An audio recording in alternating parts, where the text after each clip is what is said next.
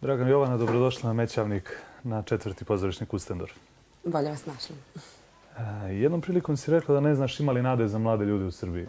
Da li se tvoj stav promenio? Da, pa povodom serije jutro će promeniti sve, verovatno je zbog Da, da, toga tako bilo, je. da, to smo pričali. Ali, um, pa u, u suštini u kontekstu te serije ja sam mislila pre svega na na moj lik ko, koji igram, a koja ima problem da se zaposli, to je da dobije stalno zaposlenje na fakultetu i onda taman kad je na korak da dobije posao, dođe neko koji je preko veze primljen. I negde mene to, ta situacija je toliko onako tipična i klasična i više puta smo čuli od nekih poznanika ili uh, familije da se to dešava i onda, je, onda sam u kontekstu toga to izjavila. Mislim, nisam pesimistična osoba, ovaj, baš zato što se bavim glumom i mislim da i kroz svoje neke uloge i predstave samo se pitam prosto da li je da li ima nade i nekako po nekim pričama mislim da je dosta teška situacija, pa u tom kontekstu sam to izjavila. Mm -hmm. A ima li nade za mlade glumce?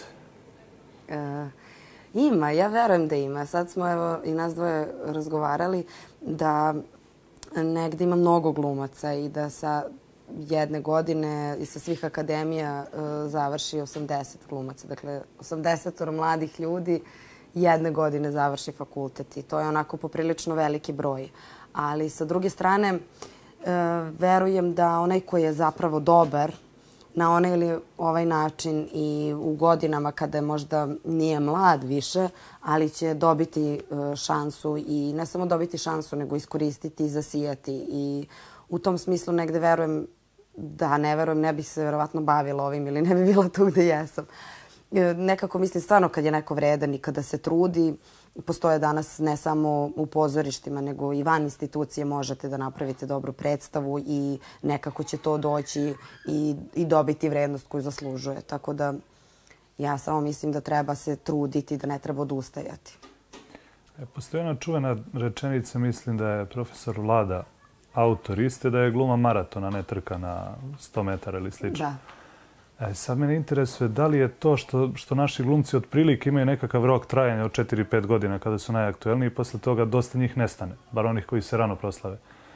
A, da li je to u stvari više do tržišta, odnosno do, do nekakvog kapitala koji se izgrće na račun njihovog imena ili je to prosto zato što oni nisu dovoljno kvalitetni pa nestanu? Ili je to u stvari prosto zbir više faktora? Da, pa da, dobro, danas živimo u vremenu kada se drugačije funkcioniše i prosto uh, počev od uh, društvenih mreža preko kojih se reklamiraju predstave, mislim, a ne da postoji samo repertoar pozorišta, nego, dakle, svako ima tu neku individualnu uh, reklamu. I u tom smislu mislim da, je, da se promenilo, ali ja negde kad god se referišem kada nešto radim, referišem se na ove starije glumce u smislu pre dve decenije koji su radili ili pet. I onda nekako verujem da, da oni su upravo odigrali neki dalje e, trče svoj maraton. U tom smislu ja mislim da da vredi. Negde sam možda staromodna, ali nadam se da ovo kada kažemo četiri godine neko traje pa nestane, onda znači da mu je to negde i bio rok u smislu da, da nije želeo ili možda je samo i želeo da zasija jednom i onda je nesto i okrenuo se ka nečemu što ga suštinski zanima. Ako te gluma zanima i bavljanje ovim poslom i ako radiš na sebi, onda mislim da možeš da traješ i duže od četiri godine. S obzirom na to da svi pokušavaju svoje projekte da komercijalizuju, angažujući popularne glumce, a ti si jedna od tih umetnika, na svu sreću. Može li ovo da bude povod činjenici da su česte loše podela u našim, da kažemo, projektima, da se to više zapaže u filmovima nego recimo u serijama? Pa, ja nisam sigurna. Snima se dosta serije. Evo, trenutno, to sam dobila neku informaciju da se snima 22 serije. Znači, to je baš prilično veliki broj za naše tržište. Što se filmova tiče, mislim da ih je ja, dosta manje na, na godišnjem nivou, a, a kamoli u istom trenutku da se toliko snima. Tako da sad se dešava ta neka hiperprodukcija i od koje treba da se čuvamo prvenstveno glumci. Mislim, naravno važi i za pisce i reditelja, ali negde nas najviše uh, i angažuju i postoji dosta uloga u tim serijama.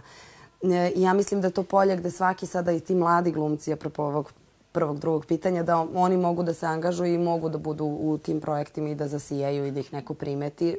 To je onako dobra strana, a loše je što dakle, nekako dobiješ nekako utisak da se štancuju stvari i, i scene i tako to. E, tako da mislim da e, da ima šanse i nisam sigurna da li je, da li je u pitanju to da, naravno da se ja plašim ako me zovu da igram u nekoj seriji sličnu ulogu mi nude, da, da ću se ponavljati, ali u tom slučaju imam pravo izbora da, da kažem ne. Tebe kao glumicu definišu kao nešto što su odredili terminom urbana devojka i uz to kače sve i svašta što danas prodaje filmove, odnosno nešto što, što si igrala već, a da ta, tako definiš ljude koji su im potrebni, što naravno ne znači da su oni u pravu kada kažu sve to. Ali slažeš li se sa tvrdnjom da našim rediteljima nedostaje, nedostaje hrabrosti da menjaju glumce, da im daju uloge koje prethodno nisu igrali, već da plaćajući glumce pokušavaju da se pretplate na likove koji su oni već igrali, a koji im se uklapaju u te projekte. Apsolutno, pa to je ovo što sam malo pre i rekla. Dakle, naravno, samo je stvar toga da li ćeš ti da, da li ti želiš da u tom pravcu ide tvoja, ajde da kažemo, karijera ili, ili želiš prosto da, da negde i sam od sebe tražiš više. I ja kad se to dešava, onda upravo to, kažem, pa to je već bilo negde. Mada ne dešava mi se toliko, moram da priznam da sam sad dobila ponude, e, ono tvoje. I negde se trudim da bežim od manira u pozorištu, a i na filmu ili serijama. Tako da, m, kad kažu urbana, ne znam šta to tačno znači, ali možda, ajde da, da u ovom trenutku i u ovom kontekstu razmišljam kao glumica, možda na taj način, pa, pa kroz uloge se vidi to da, da, da sam u ovom sadašnjem savremenom trenutku, pa ajde, ajde na taj način mogu da pristanem. Ali, ali u tom smislu mislim da svako, stvarno svako ima pravo izbora i da negde treba da kontrolišemo sad ako neko želi da, te nametne, da ti nametne nešto da možeš uvek da kažeš da to ne želiš. E, na pozorišnom su festivalu na Mećavniku, gde si ove godine član žirija, na čemu ti čestitam. Hvala. I sad, šta je ono što ćeš u okviru svojih parametara e, postaviti kao standardne, odnosno kako ćeš urednovati glumce, koji su njihovi standardi, koji za reditelje, koji za predstave? Pa, nikad nisam bila član žirija, to jest na pozorišnom festivalu. Bila sam ove godine na filmskom jednom u Sarajevu i to mi je onako bilo zanimljivo, ali ovo mi je još uzbudljivije, posebno zato što su to studentske predstave i to je meni nešto što je sveže. Mislim, ja sam akademiju završila pre ajde, četiri, pet godina, tako da se vrlo dobro sećam tog osjećaja i volela bih da je trajao festival, ovo je koji, četvrti po redu? Da, da je trajao kad sam ja bila student, sigurno bi bilo drago da sam ovde. A uh, on, ono što je najvažnije, to je, mislim, bit ću obično publika, jer se ja trudim nekako i kao glumica kad radim nešto i kad pričam s rediteljem da se uvek uh, tokom procesa razmišljam o publici, onome ko, zbog čega mi sve ovo i pravimo. Tako da uh, u tom smislu će, ću onako na što dobro odreagujem na koju glumca, na kog glumca ili glumicu mislim da je dovoljno uverljiv, da je dobro odradio zadatak, uh, koja predstavu u celini je nekako nosi neku dobru poruku ili me je prosto um, odradila ili, ili ću razmišljati, ne znam, o režiji ko je neki student koji je imao dobru zamisao i izabrao dobar tekst. Tako da trudit ću se da budem zaista kao obična publika. Reci mi da li sad kad smo se dotakli pozorišta, pošto prirodno na tom sam festivalu, ali pošto na Mećaniku postoji Kustendorf film festival, da li se tvoj proces izgradnje lika razlikuje u pozorištu i na filmu? Da li isto pristupaš likovima koji igraš na filmu da. i pozorištu?